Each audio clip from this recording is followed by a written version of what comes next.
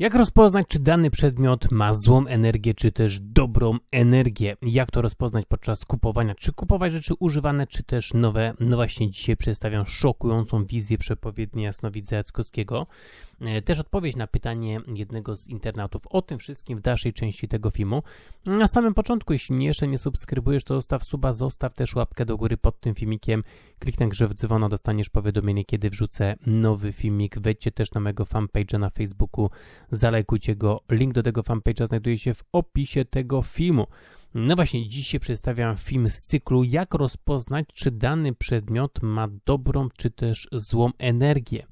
E, oczywiście przedstawiałem taką historię, gdzie Jasnowic Jackowski mówił o pewnym przedmiocie, który kupił. E, ten przedmiot miał złą energię, to powodowało e, cały szereg nieszczęść w życiu Jasnowidza. To tam był mm, mężczyzna, tak z drewny, z dzidą, e, z jakąś włócznią praktycznie. E, tutaj rzeźba wykonana gdzieś e, praktycznie, nie wiem, w, w, w Afryce, tak?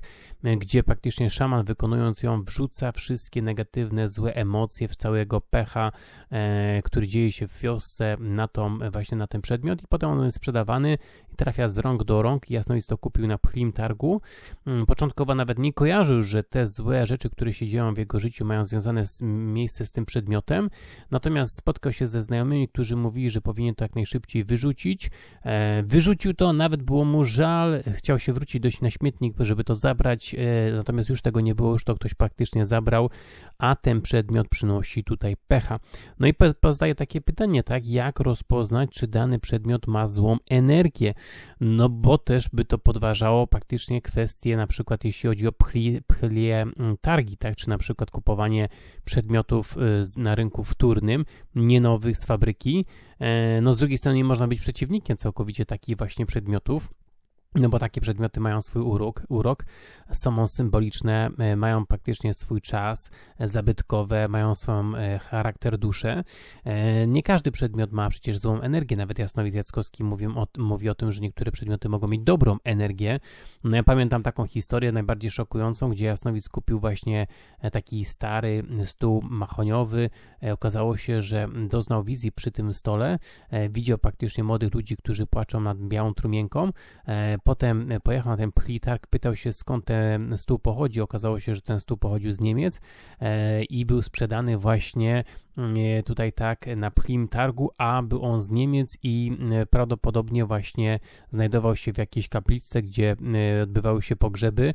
I na tym stole była właśnie ta trumienka tego dziecka małego i to widział właśnie Jasnowic Jackowski podczas pracy tym przy stole, mimowolnie, tak, no nie skupił się jeśli chodzi o wizję konkretnie w stosunku do tego stołu.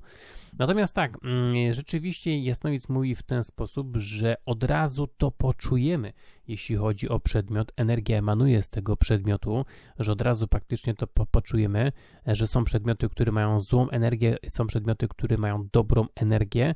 Jest to od razu praktycznie wyczuwalne, jeśli chodzi o dany przedmiot, tak, jeśli chodzi o dany przedmiot. No, ja muszę powiedzieć, może to się mm, wydawać proste, jeśli chodzi o jasnowidza Jackowskiego, natomiast wiele osób, wydaje mi się, że no, nie będzie to dla nich takie proste, czy dany przedmiot rzeczywiście ma dobrą, czy też złą energię, no bo jak to może rozpo rozpoznać, tak? Jest na przykład spora grupa ludzi, którzy tak naprawdę ciągną do tak zwanych, znaczy ciągną, no, przyjaźnią się, kolegują z tak zwanymi złymi ludźmi, tak, którzy mają zły wpływ na nich, czy niszczą praktycznie ich życie, e, pośrednio też bezpośrednio, pod płaszczykiem na przykład przyjaźni, czy jakiejś po prostu tutaj współpracy i tak dalej, natomiast mają na nich e, zły wpływ na ich życie, tak, no już nie mówię, jeśli chodzi o to, że namawiamy ich takich złych, złych rzeczy, ale po prostu przyjaźnią się e, z tymi ludźmi, którzy tak naprawdę mm, mają ukryty tutaj jakiś cel w tym więc jeżeli ludzie nie potrafią w stosunku do innych ludzi rozpoznać, e, tak, a co dopiero tutaj do jakiegoś przedmiotu, który kupią. Natomiast rzeczywiście no, trzeba było tu zobaczyć skąd ten przedmiot jest, jaka historia z tego przedmiotu, nie zawsze ją poznamy. No tutaj też jest specyficzna sytuacja właśnie jeśli chodzi o Afrykę, jeśli chodzi o takie przedmioty, na przykład rzeźby wykonane tak, gdzie wykonuje to szaman, to wiadomo, że wrzuca tam jakąś złą energię, mm, czyli mm, na przykład mogą być jakieś przedmioty, nie wiem, z Indii, z Indonezji, zobaczyć, kto praktycznie ten przedmiot wykonywał, czy jest to przedmiot wykonywany w fabryce, czy po prostu przez jakąś osobę.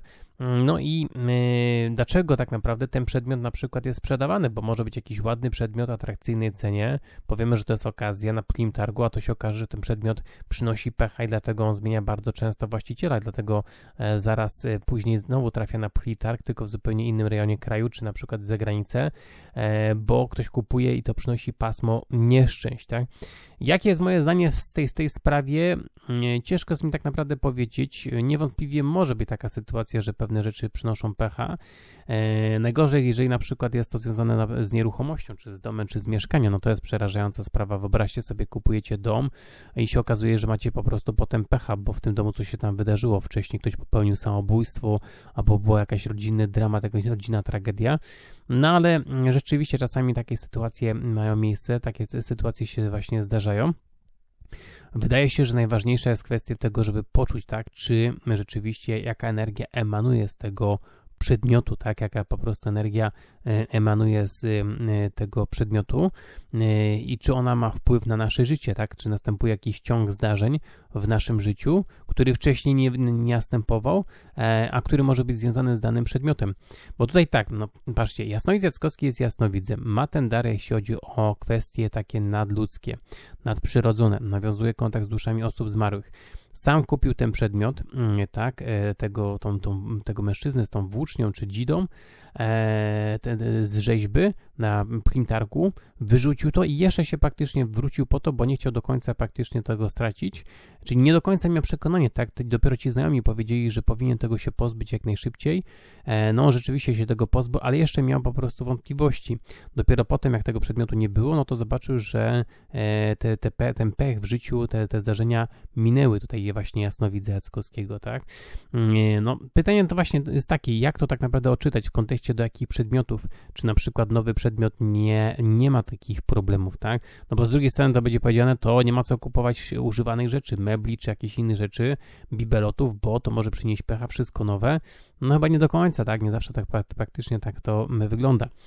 Natomiast jestem ciekaw, co wy na ten temat sądzicie. Czy mieliście właśnie takie historie związane z mm, tutaj właśnie tymi przedmiotami. No ja słyszałem jakąś taką historię, to nie jest historia, która dotyczy mnie, ale słyszałem taką historię pewnego mężczyzny, e, który kupił motocykl, zabił się na tym motocyklu, znaczy nie od tego mężczyzny, tylko od rodziny e, i ten motocykl był używany, tak? No rzadko który motocyklista kupuje nowy motocykl, z reguły kupują używane.